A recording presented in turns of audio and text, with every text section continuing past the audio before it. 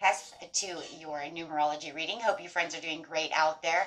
If you friends like this, please like and subscribe. This reading is for Aries, Taurus cusp, Leo, Virgo cusp, and Sagittarius, Capricorn cusp. Welcome, welcome. Okay, friends, let's see what's going on with you. You. Okay, Okay. getting the energy. These are already pre-made. So let's get in here. Okay, and see what is going on with you. First card coming out is deservingness. Uh, this is saying you are a beloved child of God like everyone else, and you deserve to receive the support that will allow you to focus upon your divine life purpose. Even if you can't yet recognize your lovable qualities, trust that God and the angels can see how amazing you truly are. So beautiful message there for you. And getting straight into the numbers coming out, we have manifestation number eight. So if you guys are seeing a lot of eight, this is talking about perfect time to manifest, or it could also be saying, hey, your manifestations are coming coming in. Let's see what's going on. You have rebirth 16 breaking down to seven. Wow. Okay, so you guys could be going through some kind of rebirth. If you're going through a rebirth, you know you're going through a transformation. Um, then it is definitely time, right, to be manifesting. If you just got out of a rebirth, then here comes those manifestations, right? So it's going to be a little different for everyone. Depends on where you are. No matter what, you're going to manifest every day of your life, okay? Every time you see something you want, something you're manifesting. So, but nine plus six over here, you're seeing that 96 breaking down to that six. This is that forgiveness, having forgiveness. Okay. And having the strength card coming out. And the animal coming out is the humpback whale. Music is essential to your healing and well being, whether singing, playing an instrument, or listening. So, any kind of healing that you need during this forgiveness time period um, would be a great time to get into that music. Feel the music. Okay. Alrighty, let's see what's going on over here. Uh, getting straight into the rebirth. A lot of beautiful numbers going on. I, you know what I'm noticing right now, guys? We got six, seven, eight going on on the board over here. Wow. And then you have, you have four plus six, excuse me, equaling ten down to one. So this strength is this after this rebirth that you're going to bring on this new chapter within your life where you're going to feel so much stronger, right? So, and the four, of course, is talking about that stability, and the sixes are talking about that harmony within. Okay. The nine is the ending, the one is the beginning. Wow. You just see it all right there. Okay, so let's see what's going on with you. Beautiful water sign. Yes, it's talking about a rebirth.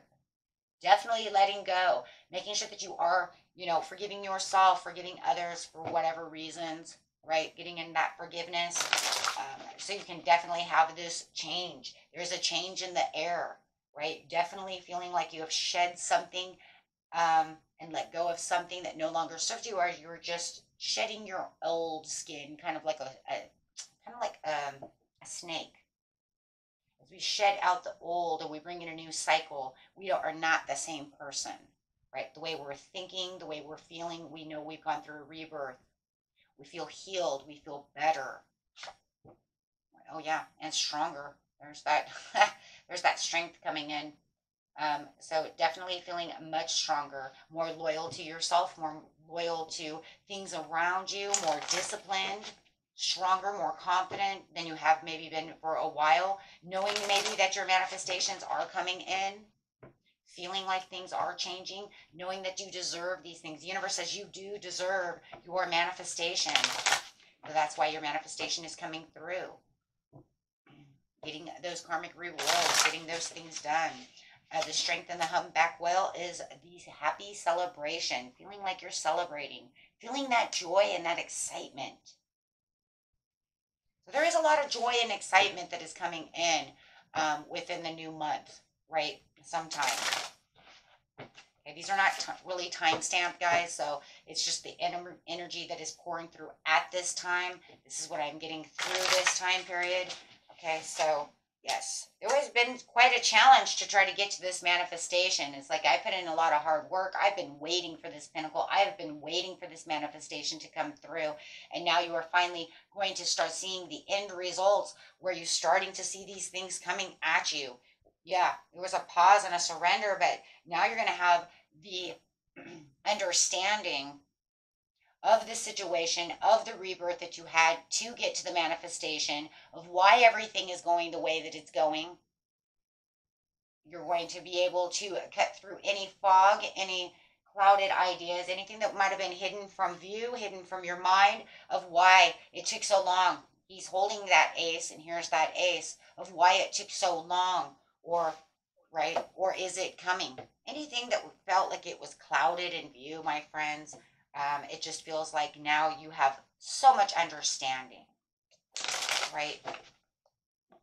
So much understanding. And it's just, yeah, here we go again with that strength card. The forgiveness is the strength card. You know, forgiving myself, you know, maybe I've kind of let myself down. Maybe I didn't put in exactly what I felt I needed, but I, you know, but I got strong in the end. However, it is, right? Maybe you need to forgive someone else um, for pettiness or however. Um, but yeah, definitely seeing the sun coming out. Wow.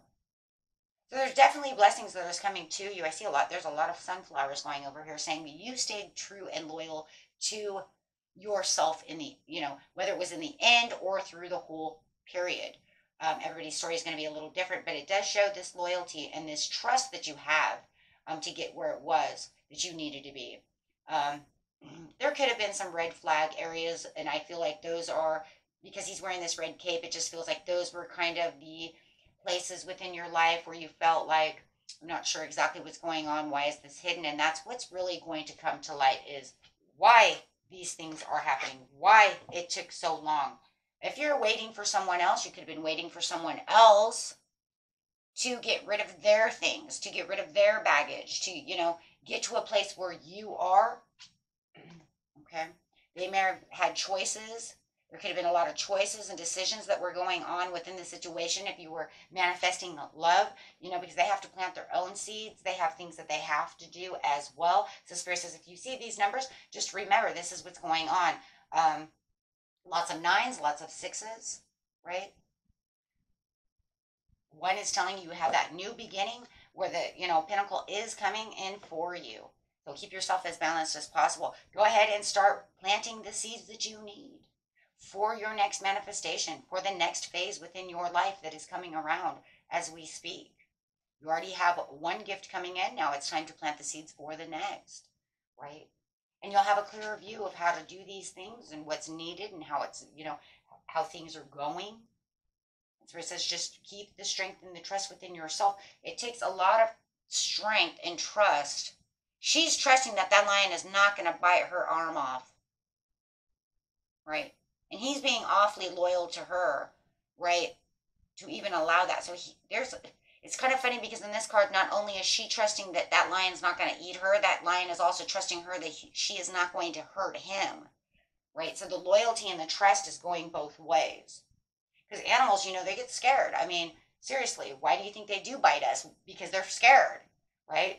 So there's a lot of loyalty and trust right there between the two of them that they are sharing together. And it's taking a lot of strength on both sides, right? For him not to bite her and for, you know, her to even feel like, oh my God, is he going to bite my arm off? But she's saying, I, I love you and I'm going to trust this situation. I trust you. And he's saying, okay, I trust you too. Right? Infinite balance and strength. And look at the infinite, that's an eight, right? Snake eating its own tail over there as things come around. okay.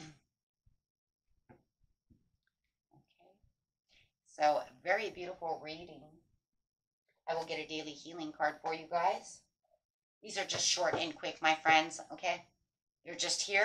They're little messages. They help us along our days are, you know, keeping us strong, keeping us going where we need to go, helping us understand messages from spirit. And that's that's really, you know, all it really needs to be. Take time to acknowledge the subtle changes in your spiritual evolution. And that's what I was saying before is, you know, with this rebirth, And this death card, you know, you're it's kind of like you're a, a snake, right? Shedding the old skin away because you are changing, because you're spiritually growing. You're seeing things in a different light as you are taking on this beautiful rebirth. Okay. Till next time, my friends. Peace and love. Bye bye.